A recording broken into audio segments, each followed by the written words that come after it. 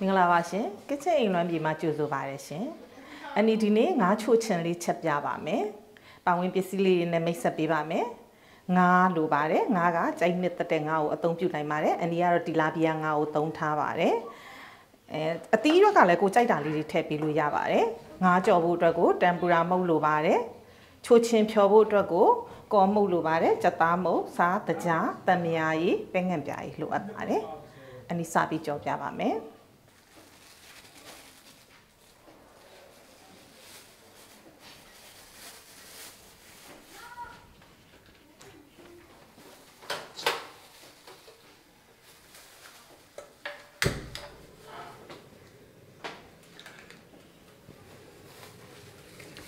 လာရင်စီထဲပါမယ်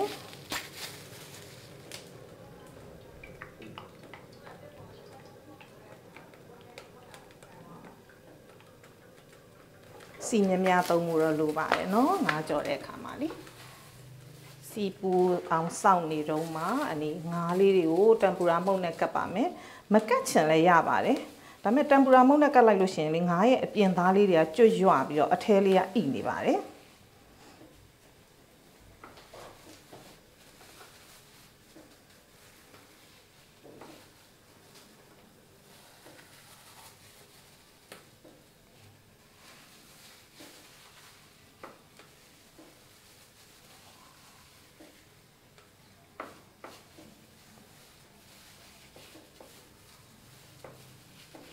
ကြိုက်နှစ်သက်တဲ့တెంပူရာမုတ်ကိုသုံးလို့ရပါတယ်နော်ငါကလည်းစိတ်ကြိုက်သုံးနိုင်ပါတယ်ကက်ကတစ်နဲ့သုံးရင်တော့ပိုကောင်းတာပေါ့နော်အနီကတော့ကက်ကတစ်ကဈေးကြီးလို့ဒီလာပီယာငါလေးပဲသုံးပါတယ်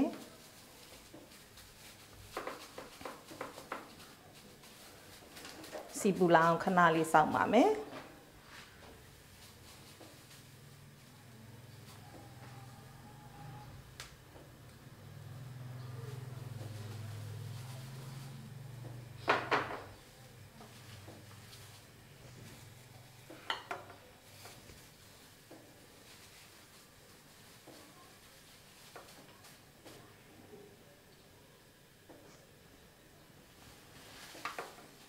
စီပူလာရင်ငါးလေးကိုထည့်ပါမယ်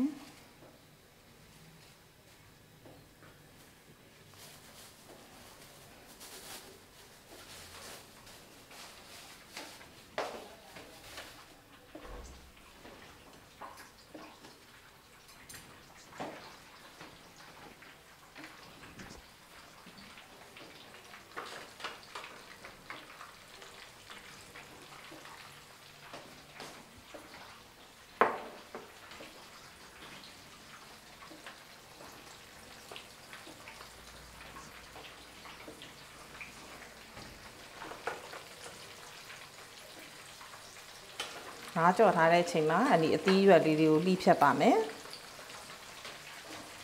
ဒါကြက်သွန်လေးပါအသီးရွက်ကလေမိမိစိတ်ကြိုက်ကုန်ထည့်နိုင်ပါတယ်ကြိုက်နဲ့တက်တဲ့အသီးရွက်အကုန်ထည့်လို့ရပါတယ်เนาะအနီကတော့အိမ်မှာရှိတဲ့အသီးရွက်လေးတွေပဲအနီထည့်လိုက်တာပါ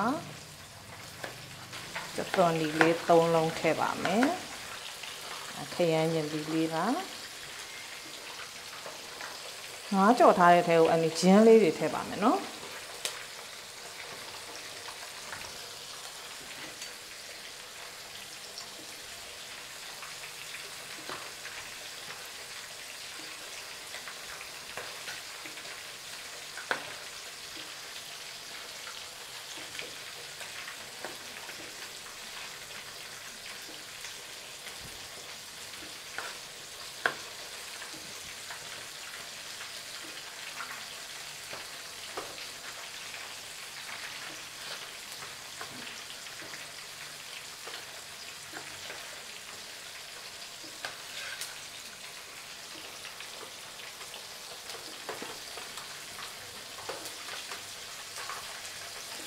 ပဲသီးလေးပါမိမိကြိုက်သလိုလိဖြတ်နိုင်ပါတယ်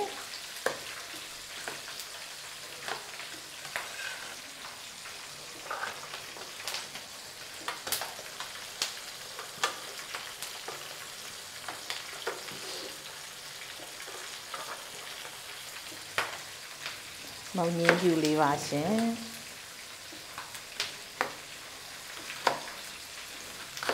ဒီထဲမှာလေပန်းပွင့်တို့ငရုတ်ပွားတို့ထည့်ရင်ပိုကောင်းပါတယ်နက်နက်သီးတို့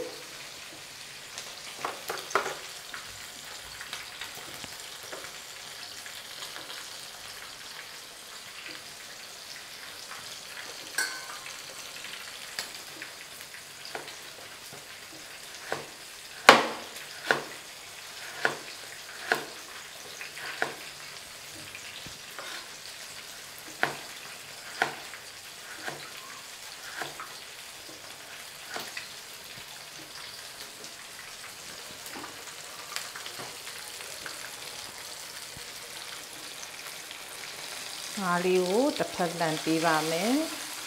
ငါးကြော်တဲ့ခါမှာလေးဂျင်းလေးထည့်ပြီးကြော်တာကလေငါးရဲ့အမြင်နဲ့လည်းပျောက်ပါတယ်နော်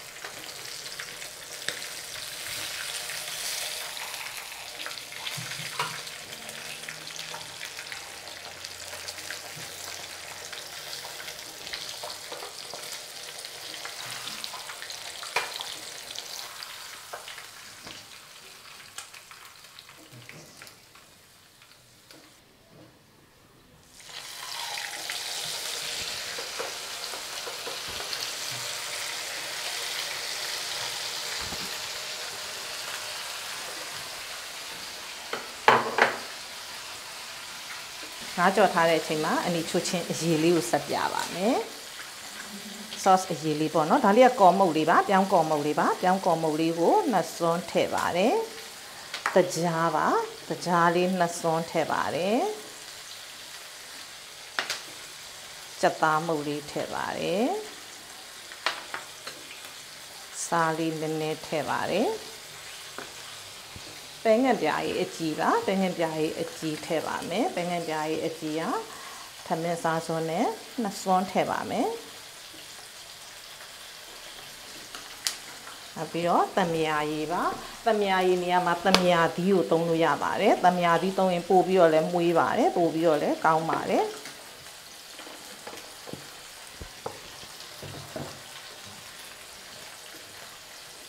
အလီယာငရုတ်စီပါ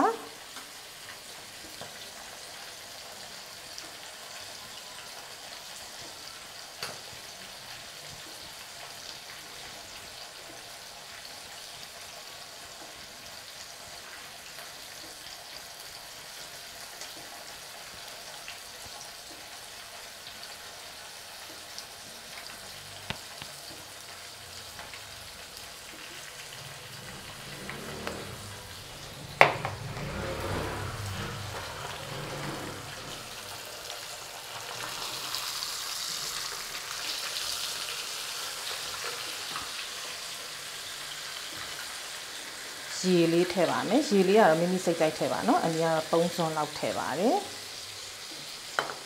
ဒီဒါလေးတွေကိုသမားသွားမှုထားပါမယ်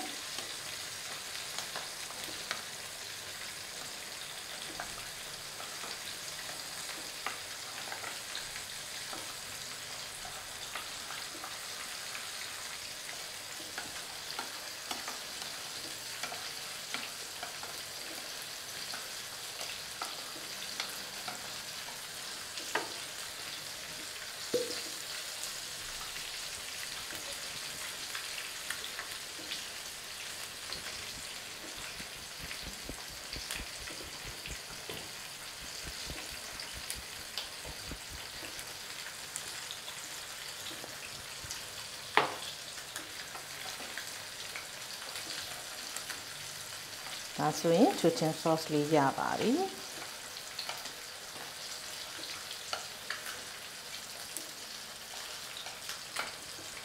ချိုချင်းအတွက်ကိုအနီအသီးရွက်လေးကြော်ပါမယ်ရှင်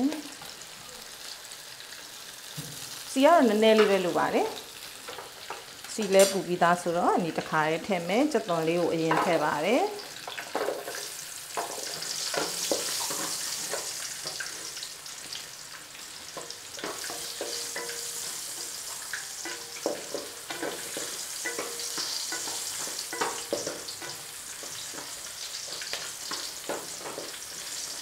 ကပလွန်လေးနွမ်းလာရင်ပဲသီးလေးထည့်ပါမယ်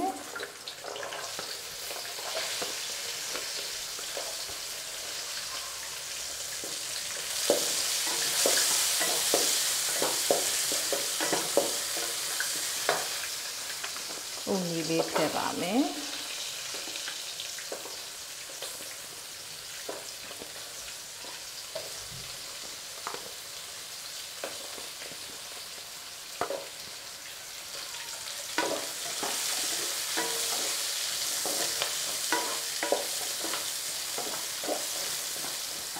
မုံငင်းဖြူလေးပါ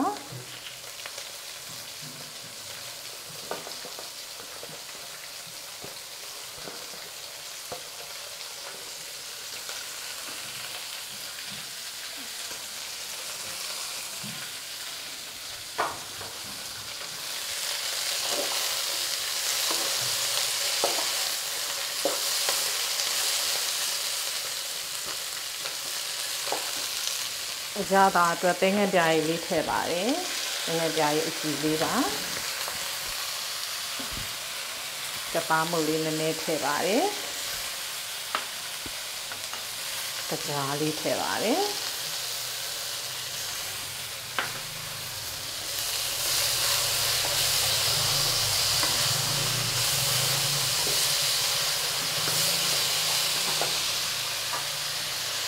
ရေလေးထည့်ပါတယ်နော် သူချင်းလေးကအရေလေးနဲ့အစားမှဖြစ်လို့ပါ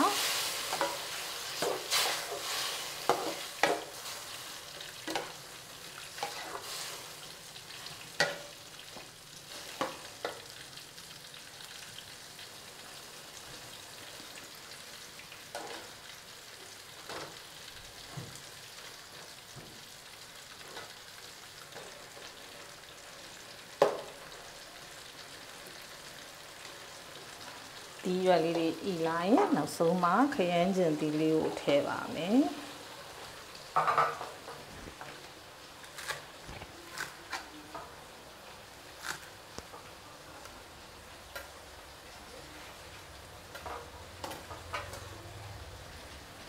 ကျတော့မိတ်လေးပါ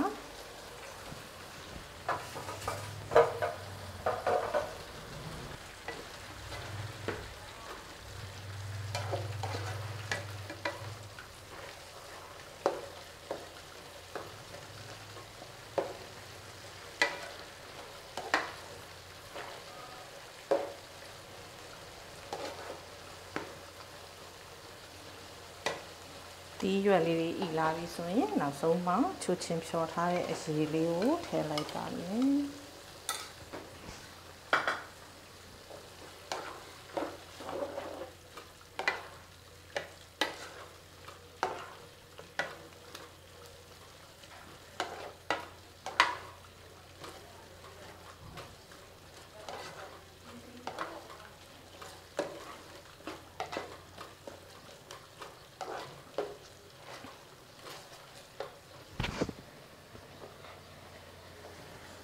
ကြော်ထားတဲ့ငါးလေးကိုအရသာလေးပြန်ဝင်သွားအောင်ခဏလေးပြန်ထည့်ပါမယ်နော်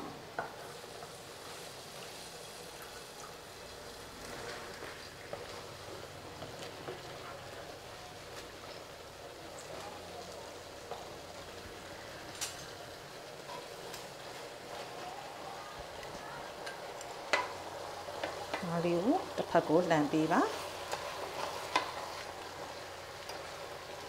ရှားသားလေးတွေဝင်သွားပြီဆိုရင်ငါချူချင်လေးရပါပြီရှင်